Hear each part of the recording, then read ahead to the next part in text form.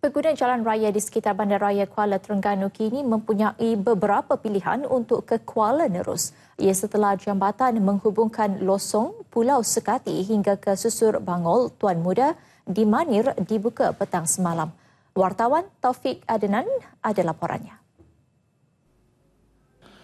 Pembukaan laluan jambatan sepanjang 1.58 km yang belum diberi nama ini diumumkan Menteri Besar Datuk Seri Ahmad Razif Abdul Rahman selepas hadir pada majlis penyerahan projek pembangunan jambatan di atas Sungai Terengganu ke Pulau Sekati. Sebahagian besar laluan projek bernilai 245 juta ringgit melibatkan keseluruhan jarak hampir 6 km dari Jeram Tok Kong hingga Banggul Tuan Muda akan dibuka sepenuhnya beberapa hari sebelum sambutan Aidilfitri. Eh, dan bermakna pada hari ini eh, bermula jambatan ini boleh dibukalah untuk eh, publik guna untuk publik dan dan yang satu lagi itu yang di uh, Jerang Tokong tu hubungkan di antara Jerang Tokong ke Bangor Tuan Muda insyaallah kita akan buka pada 19 hari bulan. 19 hari bulan ini. Terdahulu, Datuk Seri Ahmad Razif menyaksikan majlis menandatangani dokumen penyerahan projek tersebut daripada Jabatan Kerja Raya JKR kepada Kerajaan Negeri.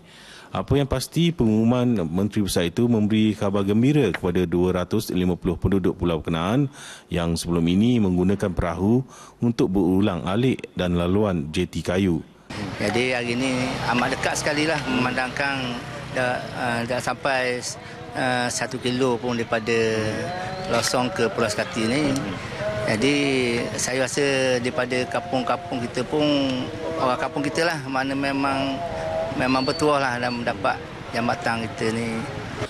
Pembinaan kemudahan susu keluar masuk di Pulau Kenaan juga turut memendekkan masa perjalanan melintasi Sungai Kuala Terengganu ke Losong.